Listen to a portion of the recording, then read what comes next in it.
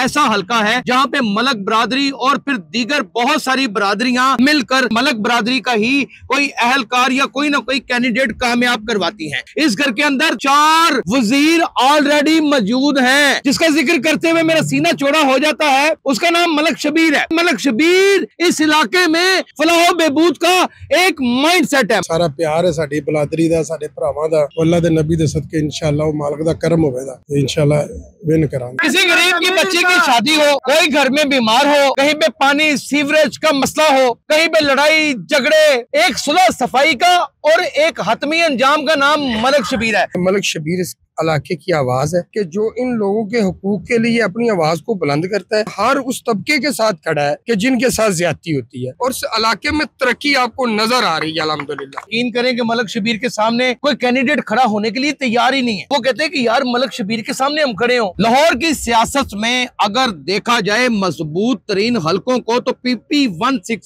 एक ऐसा हल्का है, हंजरवाल का इलाका, जहाँ पे मलक बरादरी और फिर दीगर बहुत सारी बरादरियाँ मिलकर हमेशा मलक बरादरी का ही कोई अहलकार या कोई ना कोई कैंडिडेट कामयाब करवाती हैं। इस घर के अंदर चार वज़ीर ऑलरेडी मौजूद हैं। पांचवा ऐसा मुतहरक, एक ऐसा नौजवान, एक मर्द कलंदर, एक ऐसा मुजाहिद, जिसका ज़िक्र करते हुए मेरा सीना चौड़ा हो जाता है, उसका नाम मलक शबीर है। और मलक शबीर इस इलाके में फलाह बेबूद का एक माइंड सेट है। मलक शबीर साहब तो इस वक्त हमारे साथ मौजूद नहीं है लेकिन उनके भाई इस वक्त मलक मलक साहब मौजूद है। सामने का मलक साहब। क्रेज है यहाँ पे लोग। दीवानावार प्यार करते हैं। यंग मुंडा है। मुंडा खुंडा है। इतनी इज़्ज़त उसने बनाई हुई है। हर एक के काम के ऊपर चढ़ दौड़ता है। मुतरक आदमी है। और इस दफे आपको ਉਮੀਦ ਹੈ ਕਿ ਆਪਕੋ ਟਿਕਟ ਮਿਲ ਜਾਏਗੀ ਮੁਸਲਿਮ ਲੀਗ ਨੂਨ ਕੀ ਜਾਨਬ ਸੇ ਇਨਸ਼ਾਅੱਲਾ ਅੱਲਾਹ ਦੇ ਨਬੀ ਦੇ ਸਦਕੇ ਮਿਹਨਤ ਸਾਨੂੰ ਇਨਸ਼ਾਅੱਲਾ ਮਿਲੇਗੀ ਬਾਕੀ ਸਾਰਾ ਪਿਆਰ ਹੈ ਸਾਡੀ ਬਲਾਦਰੀ ਦਾ ਸਾਡੇ ਭਰਾਵਾਂ ਦਾ ਜਿਹੜੇ ਹੰਜਰਵਾਲ ਦੇ ਵਿੱਚ ਸਾਨੂੰ ਪਿਆਰ ਕਰਦੇ ਨੇ ਉਹ ਇਲਾਕੇ 'ਚ ਵੀ ਅੱਲਾਹ ਦੇ ਨਬੀ ਦੇ ਸਦਕੇ ਇਨਸ਼ਾਅੱਲਾ ਉਹ ਮਾਲਕ ਦਾ ਕਰਮ ਹੋਵੇਗਾ इनशाला विन कराएँगे इनशाला तला विन करेंगे। ये भी मैं आपको बता दूँ कि पहले भी जो सीटें इस घर के अंदर मौजूद हैं उनके पीछे अगर सारी काविश और सारा वोट है वो मलक शबीर का है। मलक शबीर मैदान अमल में उतर चुका है। क्लैपिंग कर दे जरा।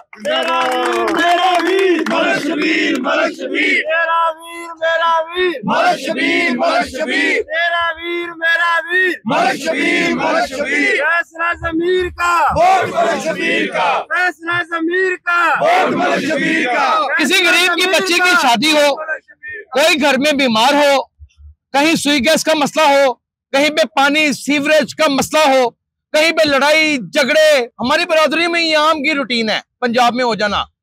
एक सुलह सफ़ाई का और एक हतमी अंजाम का नाम मलक शबीर है।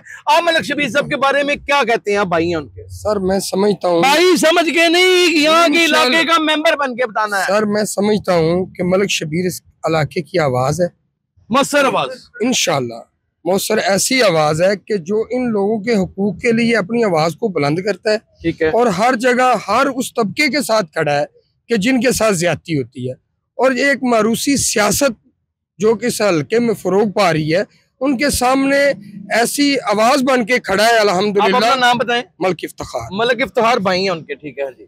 तो ऐसी आवाज़ बन के खड़ा है कि जो इन सब तबके के सब इलाके के हर आदमी की और हर शख्स की आवाज़ है। हर और हर शख्स की आवाज़ है।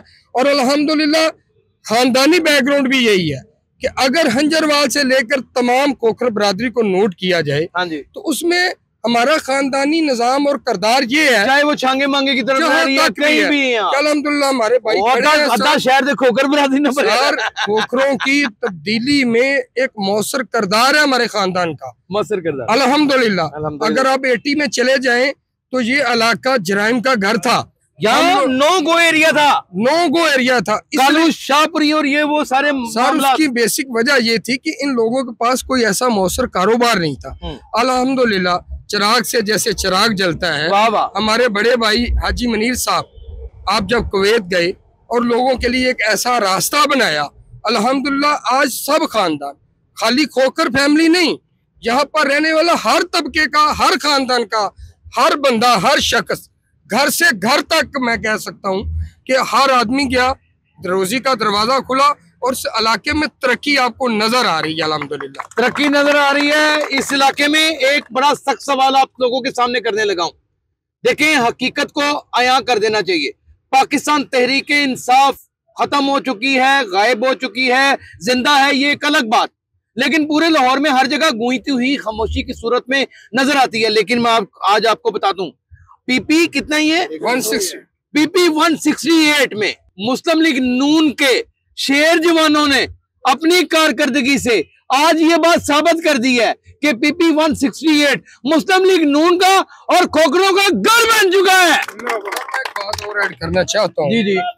कि सबका सबका इलेक्शन में सबका इलेक्शन में यहाँ से पीटीआई विन अगर हुई है तो मैं समझता हूँ कि खानदान की इजारादारी थी जिसको लोगों ने नेग्लेक्ट किया है। मलिक शबीर अल्हम्दुलिल्लाह एक आवाज़ है। पार्टी की तरफ़ से इस मरतबा इंशाल्लाह टिकट मिला तो ये नून लीग का गढ़ है और शख्सी तौर पे मलिक शबीर एक ऐसा शख्स है कि जिसके लिए लोगों की मोहब्बत ऐसी है कि हर आदमी की एक आवाज़ है। यार यंग सा लड़का है मुंडा गुंडा है। सार- मैं हैरान हूँ इस उम्र में बंदा एंजॉय करता है सार- लोगों के फलाई काम करता है। सर मेरे नज़दीक इंसान का सबसे बड़ा मज़हब इंसानियत है। वाह वाह वाह इसमें कोई शुबा नहीं। और मलिक शबीर। इंसानों के हकूक के लिए लड़ने के लिए वक्फ कर दिया हमने। अपनी पूरी बड़े भाइयों ने ये तकीद की है कि भाईजान। मलिक खलील साहब और सब भाइयों ने कि मलिक शबीर अगर कोई दरवाजे पे आए तो उसको वापस खाली नहीं भेजना अगर हक पे खड़ा है तो उसके साथ खड़ा होना है। और अल्हम्दुलिल्लाह हर के हर जालिम के सामने खड़ा हुआ है। मलक शबीर। मलक शबीर के बारे में आपको एक और बात भी दोस्तों बता दूँ क्योंकि ज़ाहिर है मैं सियासत में इन और इसकी बीट करता हूँ मुझे पता है। मलक शबीर का एक नारा है अपनी दोस्तों में बैठ के अपनी बैठक में कहता होता है कहना मैं यार दी यारी नु वेखना ओदे नु नहीं। वो टूर पड़ता है। और ये बहुत बड़ी बात है। इस वक्त मलक नजीर एक कोकरों का इतना बड़ा मज़बूत दड़ा है कि जिस जानी वो झुक जाता है तनावर दरख्त कुवैत में मौजूद है हमारा यार लेकिन यहाँ पे भी इस वक्त लगता है कि ऐसे ही मौजूद है। उनके बेटे साहबजादे मरसद मौजूद है। वेलकम कर रहे हैं। क्या हाल है जनाब? जी ठीक ठाक आप क्या हाल चाल अल्लाह ताला का शुक्र। क्या देखते हैं आप ये सारी सूरत सर जी ये तो मेरा फ़र्स्ट टाइम है। अच्छा। आगे पीछे तो अबू होते हैं। अच्छा अब लेकिन। माशाल्लाह मज़ा आ रहा है। मज़ा आ रहा है? मज़ा आ रहा है फुल टाइम खोकर बरादरी ने जी ज़रूर अब मैं आपको एक ऐसी करेंगे। इंशाल्लाह ऐसी शख्सियत से मुलाकात कराने लगा हूँ। जो खोकर बरादरी के बाबों में से गिने जाते हैं। मेला हो, कबड्डियाँ हो, आपके इवेंट हो, ये सारे एक ही बैठक में डिसाइड होते हैं और मलक गुलाब उनका नाम है। हम सबका भाई, आपका भाई, हमारा भाई, मलक गुलाब। मलक गुलाब साहब आपको खुश आमदीद कहते हैं। मलक साहब ऐत की पूरी सपोर्ट है। इंशाल्लाह जी स्पोर्ट है, छोटा भाई। छोटा भाई मामूदा लड़का है मामूदा बेटा है इंशाल्लाह विन करेगा जी अच्छा जी हर सूरत विन ਨਹੀਂ करेगा ਮਿਹਨਤ ਕਰਦਾ ਨਜ਼ਰ ਆ ਰਿਹਾ ਹੈ ਲੇਕਿਨ ਮੈਨੂੰ ਇੱਕ ਗੱਲ ਦੀ ਸਮਝ ਜਿਹੜੀ ਨਹੀਂ ਲੱਗੀ ਉਹ ਇਹ ਵੇ ਕਿ ਪੀਟੀਆਈ ਦੇ ਜਨੂਨ ਨੂੰ ਤੋੜਨਾ ਕਿਸੇ ਵੀ ਇਲਾਕੇ ਦੇ ਵਿੱਚ ਇੱਕ ਔਖਾ ਕੰਮ ਸੀ ਇਹ ਕਰਨ ਚ ਕਾਮਯਾਬ ਹੋ ਗਏ इंशाल्लाह जी कम जरा हाँ कम ਕੰਮ ਕਰੋ ਲੋਕਾਂ ने गरीब अमीर की गल सुनता गरीब अमीर की बात सुनता है नाजिन आज मैं आपको एक गरीब बात अमीर। बता- आज मैं आपको एक बात बता एक जन कोई जवान कैंडिडेट है या कोई बूढ़ा कैंडिडेट है अवाम को काम चाहिए चाहे वो बरादरी है चाहे वो कोई दूसरा सिस्टम है यकीन करें कि अब बरादरी के वोटों का मामला नहीं रहा। अब जिसका काम होता है वो उसका हो जाता है अब उसका हो जाता है। मलक शबीर इस वक्त बकायदा तौर के ऊपर हंजरवाल के इलाके में नहीं पूरे लाहौर में मुस्लिम लीग नून का एक भरपूर मसर और एक ताकतवर नाम बन के उभरा है। तमाम दोस्तों से रिक्वेस्ट है कि वेलकम करें जरा इनको। मतलब जी, मुबारक हो आ जाए जी, आ जाए आ जाए। आ जाए। नाजिन, इस वक्त आप अगर हंजरवाल में देखें तो हंजरवाल में यकीन करें कि मलक शबीर के सामने कोई कैंडिडेट खड़ा होने के लिए तैयार ही नहीं है। मैं हैरान हूँ कि जो मुहालफ पार्टियों के भी कैंडिडेट हैं, वो कहते हैं कि यार, मलक शबीर के सामने हम खड़े हों। वो हमारा भाई है, हमारी जान है। इतना क्रेज इस उम्र में लोगों का एक शख्स के बारे में हैरत में मुबतला कर देता है। इस वक्त हम मलक नजीर के डेरे के ऊपर आए हुए हैं और यहाँ पर लोग एक बैठक करेंगे, एक मीटअप है, जिसके ऊपर अजार ख्याल भी होता रहेगा, वो सारा कुछ होता रहेगा। आखिर में मैं मलक खलील साहब से ये पूछूँगा और प्रोग्राम को वाइंड अप की जानब ले जाऊँगा। मलक साहब, आप लोगों के दरमियान आज से नहीं, अरसा दराज से ही मलक करामत से लेके कब तक से लेके अब तक? वुजरा की एक लाइन रही है। आप लोगों के दरमियान वुजरा आपके घर में पैदा होते हैं। मैंने आप लोगों के दरमियान ना कोई घमंड देखा कभी ना कभी गरूर देखा है कोई कबड्डी का इवेंट होता है तो आप गाँव देहात के लोगों के साथ मिट्टी के साथ मट्टी हुए होते हैं। ये आपके खानदान में क्या खासियत है? सर असल में इसकी बेसिक वजह ये है कि यहाँ पर जितने भी लोग पुराने बैठे हुए हैं हमारे साथ हम समझते हैं कि वो सारी हमारी फैमिली हैं। एक ऐसी इजारादारी किसी की नहीं है। सही। अल्हम्दुलिल्लाह मोहब्बत मलक शबीर का और हमारा पैगाम जो है हाँ। वो मोहब्बत है। मोहब्बत है। और मोहब्बत का पहला असूल होता है कि बराबरी की सतह पे किसी को इज़्ज़त दी जाए। बराबरी की सतह के ऊपर दी जाए। सबको इज़्ज़त दी जाए। आप मलक हैं मलक शहजादे गिने जाते हैं।